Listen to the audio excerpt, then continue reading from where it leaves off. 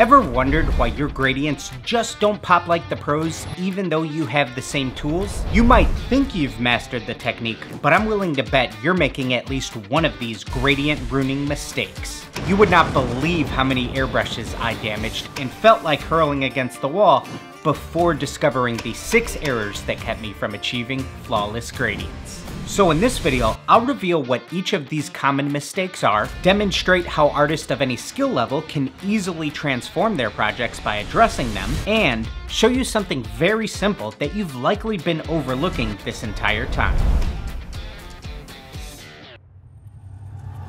When I was just starting out, I remember the excitement of planning my designs and creating mockups just like this one for a DJ client. I'd prepare my colors and couldn't wait to dive headfirst into painting. Another part of the preparation involved marking out how far each color should be painted. However, one significant challenge that I faced was that certain colors particularly neon ones, took way longer to paint and get right. These colors were a bit tricky to work with, but I eventually found a solution by using a paint buildup technique. This method involved applying multiple light coats, typically 4 to 5 layers, and starting with a more opaque foundation by mixing in some white for the first couple of coats.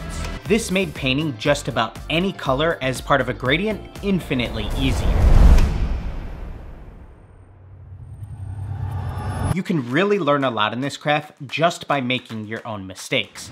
Trust me, I've had my fair share of them. Picture this, I was in a mad rush to finish a gradient and I admit, I skipped a crucial step. I didn't clean my airbrush cup as thoroughly as I should have. I just sprayed orange on the surface and thought I could get away with simply blowing out the excess into a cleaning pot without using any cleaner. But when I added yellow and white for the next color, something unexpected happened. The orange residue mixed in, unintentionally blending the colors and creating a slightly more orangish yellow. Since gradients are basically just the blending of colors, the closer their values and hues, the easier your job will be. So surprisingly, not cleaning your airbrushes thoroughly can actually make your life easier. Who would have thought? This next step can be invaluable for saving you time in the long run. If you're dealing with challenging to paint materials, spanning the gradient across multiple panels, or blending colors with pronounced value differences, consider hand painting during the third or fourth layer especially if touch-ups later down the line are a concern. This way, you can ensure things like the stitching and areas where the panels overlap are covered up and have a reference for color matching down the line in case you missed any spots.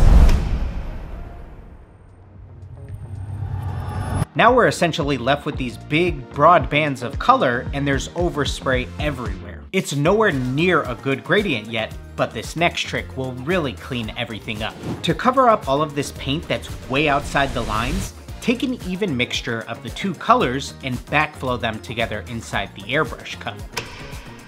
Then, spray this new color right along the dotted line. I like to call this the middle bar technique.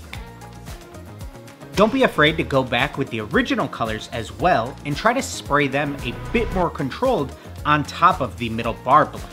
This is going to really soften up your blends.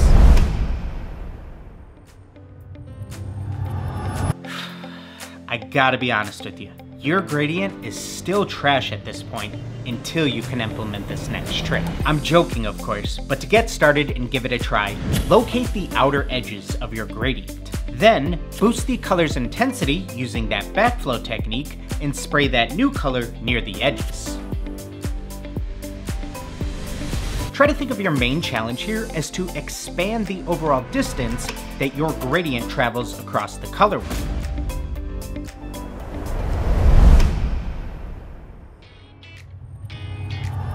So what do you do as a final last ditch effort in case there are any spots that you're still unhappy with? Grab some sort of pattern or texture stencil and apply a slightly altered color to an area where you'd like to add some depth to your project.